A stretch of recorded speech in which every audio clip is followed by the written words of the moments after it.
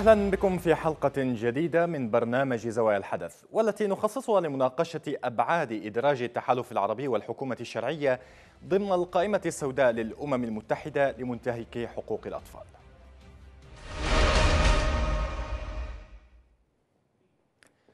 وصفت قيادة التحالف العربي تقرير الأمم المتحدة بشأن القائمة السوداء بالمضلل مشيرة إلى رفضها التام لما احتواه التقرير من معلومات وبيانات غير صحيحية أو صحيحة.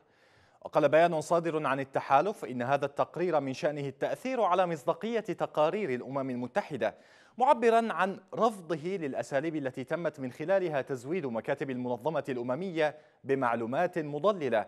هدفها صرف الأنظار عن جرائم الحوثيين والرئيس المخلوع. من جانبها انتهبت الحكومة الشرعية الأمم المتحدة بالاعتماد في مصادرها على المنظمات التابعة للانقلابيين في صنعاء في تعليق لها على تقرير الأمم المتحدة الخاص بالأطفال في مناطق النزاعات نتوقف عند هذه التطورات لنناقشها في محورين ما هي أبعاد إدراج التحالف العربي والحكومة الشرعية ضمن القائمة السوداء للأمم المتحدة لمنتهكي حقوق الأطفال؟ وما الذي سيترتب على هذه التطورات ولماذا لجأت الأمم المتحدة إلى هذه الإجراءات في هذا التوقيت؟ قبل البدء في النقاش نذهب إلى هذا التقرير ومن ثم نعود. ردود أفعال غاضبة على التقرير السنوي للممثل الخاص للأمين العام للأمم المتحدة بشأن الأطفال والصراعات المسلحة فيرجينا غامبا. عنوانها الرفض التام لمضمون التقرير فيما يخص اليمن. ردود بحجم الأثر الذي خلفه إدراج التحالف في القائمة السوداء للأمم المتحدة لمنتهك حقوق الأطفال في العالم. الحكومة الشرعية استنكرت مساواتها مع الميليشيا الانقلابية كما جاء في تقرير الأمم المتحدة ورأت أنه من غير المقبول ولا المنطق تضمين اسم تحالف دعم الشرعية في اليمن. بالاعتماد على معلومات وتقارير مصدرها ميليشيات مسلحة تم إدراجها في قرارات مجلس الأمن الدولي الصادرة تحت الفصل السابع كميليشيات انقلابية متمردة. الحكومة لاحظت أن الأمم المتحدة لا تزال مستمرة في الاعتماد على مصادر معلومات تمثلها منظمات المجتمع المدني تابعة للميليشيا وتعتمد تضليل الرأي العام الدولي وتنتهج كل الطرق والأساليب لتحويل الأزمة القائمة من سياسية إلى إنسانية يقابله ضعف لتمثيل المنظمات الدولية في المناطق المحررة بحسب ما جاء في بيان الحكومة. التحالف العربي عبر في بيان له عن رفضه التام لما احتواه التقرير من معلومات وبيانات غير صحيحة وعن تحفظه وبشدة على تلك المعلومات والبيانات. السفير السعودي في الأمم المتحدة عبد الله المعلمي كرر الموقف ذاته الذي عبر عنه التحالف خلال مؤتمر صحفي مطول عقده في المنظمة الدولية بحضور السفير المصري.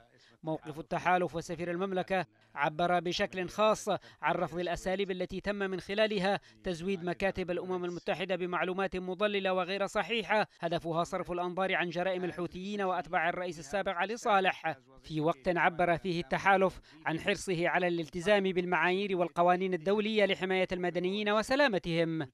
مسار جديد من المواجهة التي يخوضها التحالف مع المجتمع الدولي على خلفية حقوقية وعلى ضوء المعلومات التي تضمنها أحدث تقرير أممي بشأن الأطفال في ظل مؤشرات عن تضاؤل الفرص أمام التحالف هذه المرة لتجاوز مأزق القائمة السوداء. أجدد الترحيب بكم مشاهدينا الكرام. كما أرحب بمن ينضم إلينا الآن من لندن المحلل السياسي الدكتور محمد جميح وكذلك الدكتور عبد الله الغيلاني المحلل السياسي من العاصمة العمانية. مسقط وأبدأ مع الدكتور محمد جميح. دكتور بداية أهلا بك. في أي سياق يعني يمكن فهم إدراج التحالف العربي والشرعية كذلك في القائمة السوداء ضمن قائمة منتهكي حقوق الأطفال بجانب ميليشيات الانقلاب؟ هو طبعا يعني يأتي ذلك بعد يعني رفع اسم التحالف العربي العام الماضي من هذه القائمة التي أرجعتها منظمات دولية إلى ضغوط مورست على الأمم المتحدة والأمين العام السابق كوفي عنان عفوا الأمين العام السابق الأمم المتحدة بان كيمون نعم من قبل الجانب السعودي.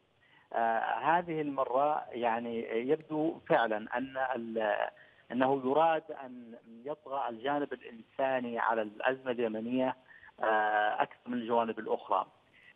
لا ننسى أيضا أن مجلس حقوق الإنسان في جنيف وتابع الامم المتحدة أيضا ضغط باتجاه ما قيل إنه حل وسط في مسائل التحقيق تشكيل لجنة دولية للتحقيق في جرائم الحرب في اليمن وتم التوصل إلى حل وسط بأن تدعم اللجنة الحكومية الحالية بخبراء دوليين على أن لا يقدم القرار الهولندي الذي كان يقضي بتشكيل لجنة دولية للتحقق من مزاعم جرائم حرب في اليمن. هذا هذا القرار الذي اتخذ في مجلس حقوق الإنسان في جنيف والقرار الأخير الذي اتخذ بضم التحالف العربي والحكومة الشرعية جنبا إلى جنب مع الحوثيين في قائمة العار والقائمة السوداء التي تسمى أحيانا قائمة العار والقائمة السوداء لمنتهكي حقوق الأطفال.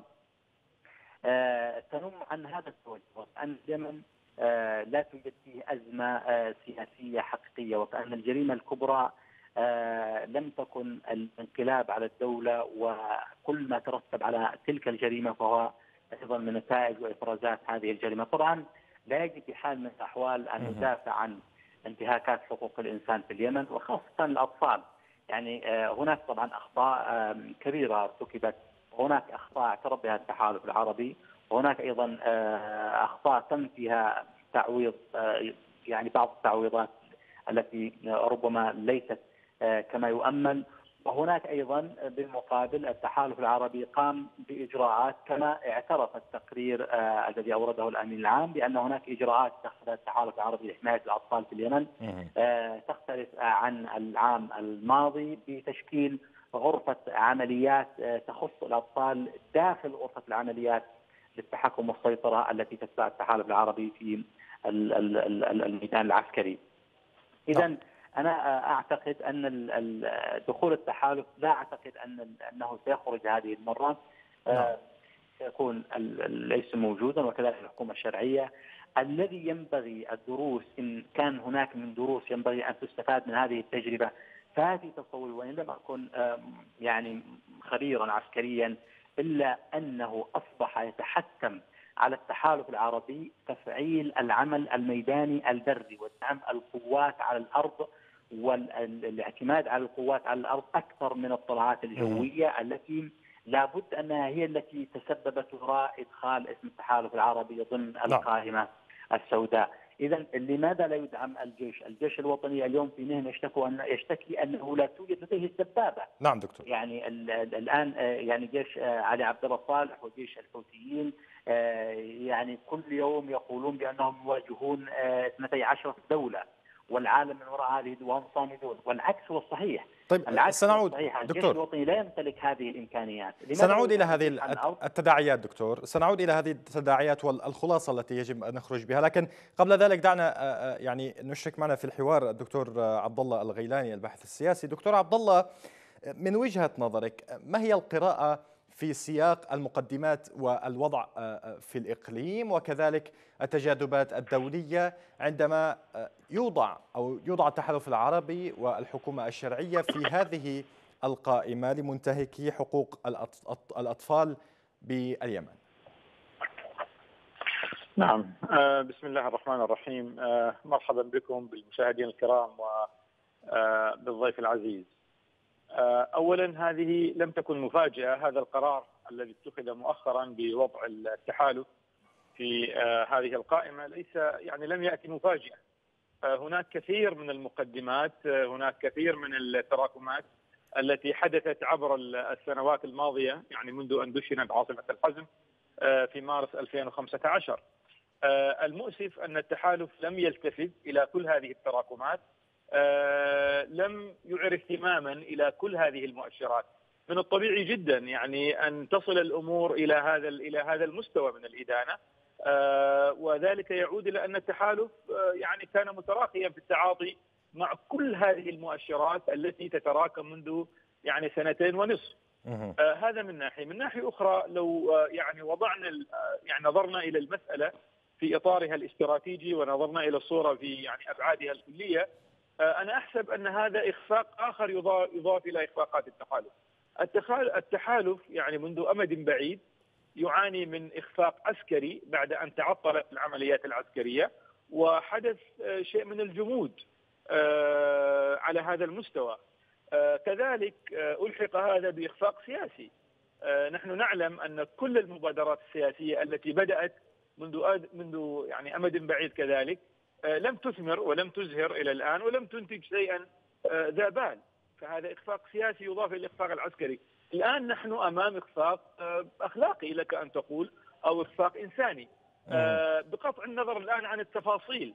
التحالف ينفي التحالف لم يقبل يعني هذه الإدانة. التحالف له تحفظات على الطريقة التي تصل بها المعلومات إلى الهيئات الدولية وبالتالي نعم. تبنى عليها مثل هذه القرارات هذا كله نتفهمه ولكن المحصلة النهائية أن التحالف أدين على المستوى الدولي يعني هذه الإدانة لم تأتي هذه المرة من منظمات مستقلة أو من منظمات خاصة وإنما جاءت من منظمات تابعة للأمم المتحدة إذا فأنت أمام إخفاق إنساني آخر يضاف إلى الإخفاق العسكري والإخفاق السياسي نعم. آه أنا أحسب يعني أن مثل هذه التداعيات السائبة على التحالف على الصعد العسكرية والسياسية والإنسانية سوف تستمر وتتصاعد في ظل حالة الجمود التي يعيشها التحالف، ليس هناك حراك عسكري، هناك جمود كلي في العمليات العسكرية، وبالتالي ميزان القوى يعني يبدو أنه يميل بقدر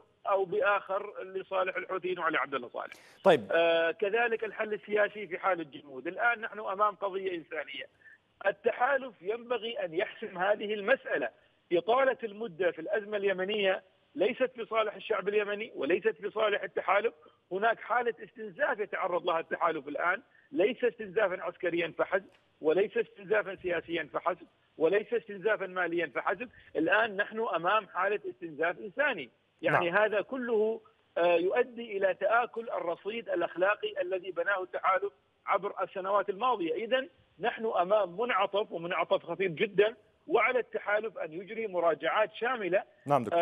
في هذا المنعطف بحيث يحدد الخطوة التالية أو الاتجاه القادم، هل ستبقى عملية الجمود العسكري والسياسي على ما هي عليه وبالتالي الحاله الانسانيه تزداد تفاقما ويتحمل التحالف تبعات يعني هذا هذا التفاقم وهذه التراكمات أنا يبدو لي أن التحالف يعيش حالة انعدام وزن وانعدام رؤية وضبابية يعني كلية فعليه أن يحدث مراجعات شاملة بحيث يحدد ما هي الخطوات القادمة خروجا نعم من حالة التكلس والجمود التي تعود بكل هذه السلبيات على طيب هذا يدفعني للتساؤل دكتور. ودعني أنقل هذا التساؤل إلى ضيفنا دكتور محمد جميح. دكتور محمد الآن يعني عندما نتحدث عن تداعيات سلبية للموقف اليمني للملف اليمني والأزمة اليمنية بشكل عام في ظل هذا القرار ما الذي يعني سيؤدي إليه هذا القرار في مواجهة الانقلاب سواء في المحافل الدولية أو في يعني سياق العمل المنظم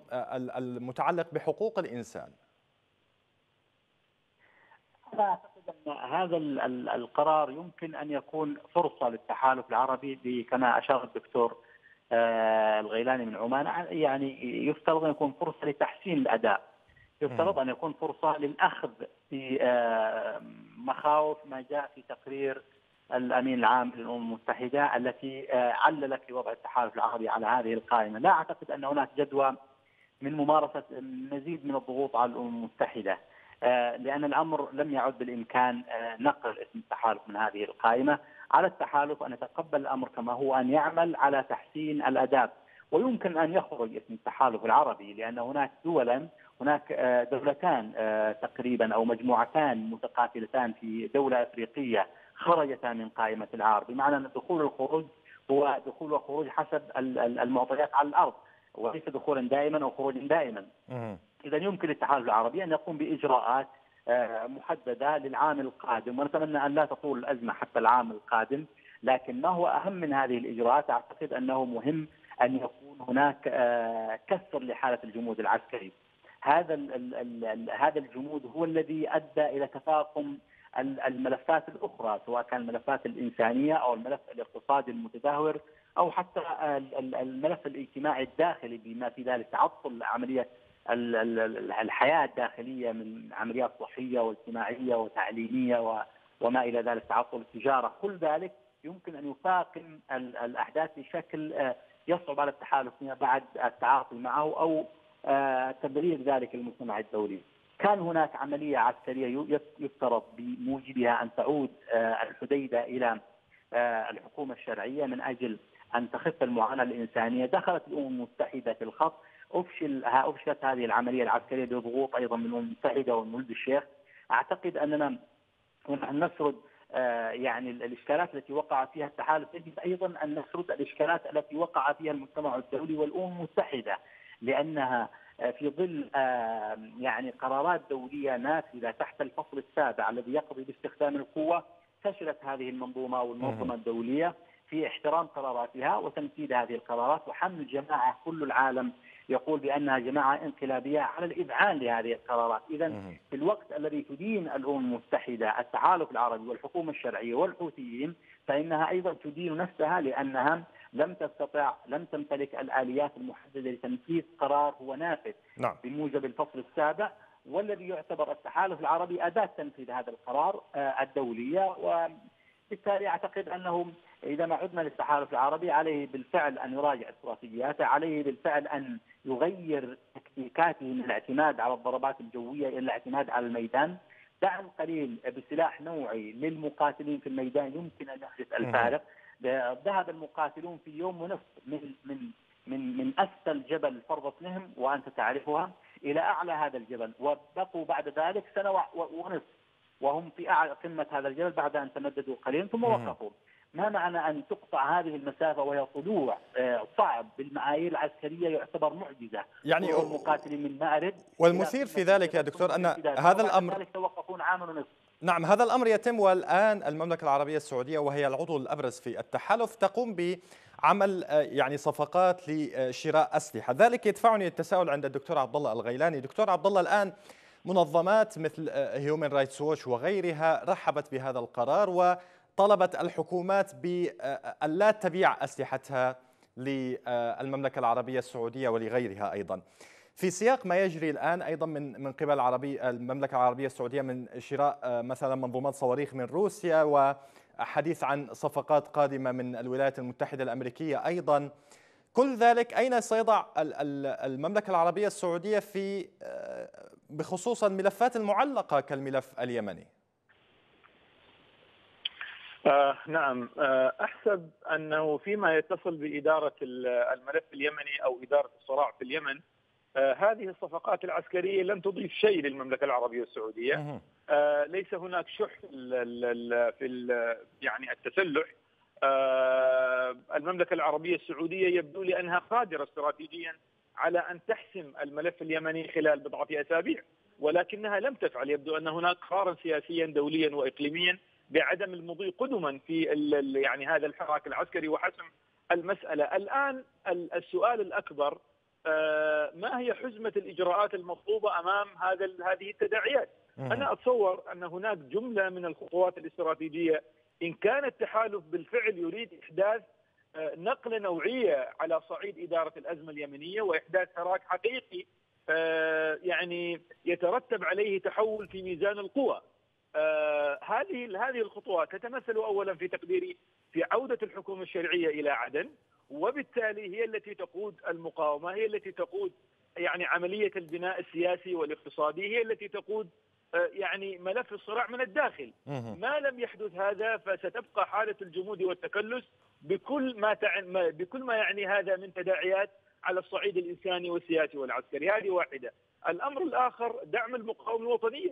يا أخي دعوا اليمنيين يحررون بلادهم دعوا اليمنيين يكونون هم في المقدمة.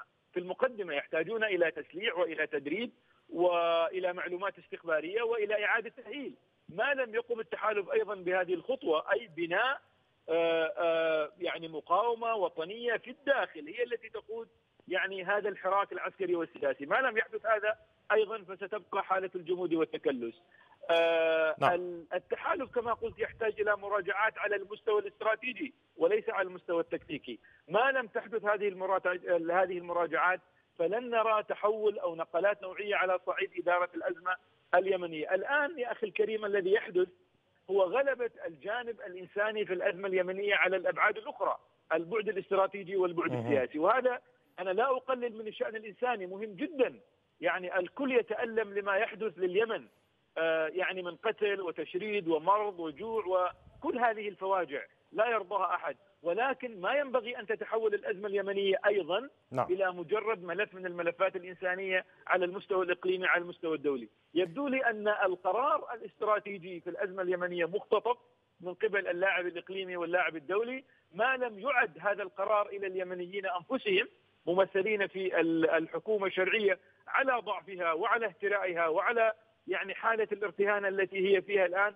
ولكن هي الممثل الشرعي الآن المعترف به دوليا. نعم. ما لم يحدث هذا فأنا أخشى أن التداعيات الإنسانية والسياسية على المستوى مستوى إدارة الأزمة اليمنية سوف تستمر وهذا أمر مؤسف. طيب دعني أعود بعودة أخيرة لدكتور محمد جميح. دكتور محمد الآن يعني نحن تحدثنا كثيرا عن التحالف لكن أيضا الحكومة الشرعية ورد اسمها في هذا التقرير كأحد منتهكي حقوق الطفولة. هل كان ذلك مفاجئا؟ وما ما الذي يعنيه أيضا؟ عفوا أنا السؤال لم لم أسمع السؤال يعني جيد. كنت أقول على أن يعني تحدثنا كثيرا على تحالف وإيراد اسمه في هذه القائمة وتداعيات ذلك لكن أيضا الحكومة الشرعية تم إيراد اسمها في هذه القائمة السوداء. ما ما دلائل ذلك وانعكاساته على موقف الحكومة الذي يبدو أنه ليس قوي بشكل أساسي؟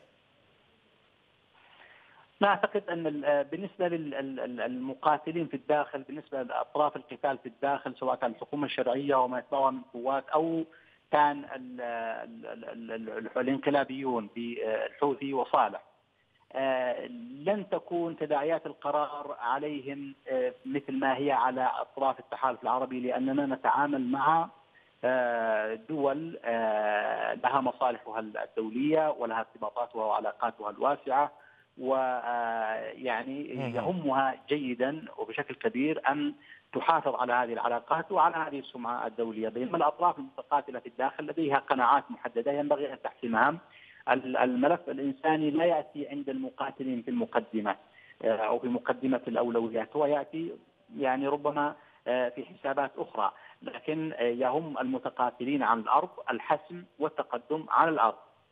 لكن الحكومة الشرعية في تصوري أنها في بعض المناطق المحررة على سبيل المثال كانت هناك بعض المخالفات التي سجلها التقرير مع أن المخالفات الأكبر فيما يخص تجنيد الأطفال وردت في إدانة الحوثيين للسنة. الثانية على التوالي الذين بقوا على هذه القائمة بتجنيد الأطفال بشكل كبير واستهداف المدنيين في أحياء مثل تعز وأيضا ب آه، يعني العملية التعليمية وما وما وما رافقها وعدم مرتبات الناس آه، هذا يخص الحوثيين لكن بالنسبة للحكومة أيضا هناك آه، بعض الحالات التي سجلت في حالات تعذيب هناك أيضا حالات كما في بعض المناطق في عدن وغيرها هناك بعض أيضا الحالات التي وجد فيها أيضا أطفال أو قتل فيها أطفال سواء كان في المعارك أو أيضا احتجز واعتقل فيها أطفال نعم. ولذلك جاء الاسم الحكومة لكن في تصوري أن نعم دكتور. الحكومة لم تقم بما قام به الحوثيون من جرائم في هذا الحق حتى في التقرير وهو يفصل يسرد كثيرا من المسببات التي جعلت التقرير يحتفظ باسم الحوثيين وصالح للسنة الثانية على التوالي على هذا التقرير نظرا للإجراءات الموجودة على الأرض التي قام بها هؤلاء في حق انتهاك حقوق الطفولة. أشكرك دكتور محمد جميح المحلل السياسي كنت معنا عبر الهاتف من آه، بريط... من لندن. بعودة أخيرة إليك دكتور عبد الله وفي دقيقة أرجو منك الإجابة. ما الذي يجب أن تقوم به الآن آه، الحكومة الشرعية كفاعل محلي وكذلك آه، ومعني أول بالملف اليمني وكذلك التحالف العربي كمتدخل لإنقاذ هذه الشرعية؟ آه كما أسلفت الحكومة الشرعية عليها أن تستعيد القرار آه المختصف اقليميا ودوليا.